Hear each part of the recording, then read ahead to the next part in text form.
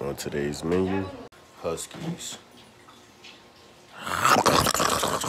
Nah, I'm messing with you. I'm not about to eat Huskies. Steak and rice. Hot sauce.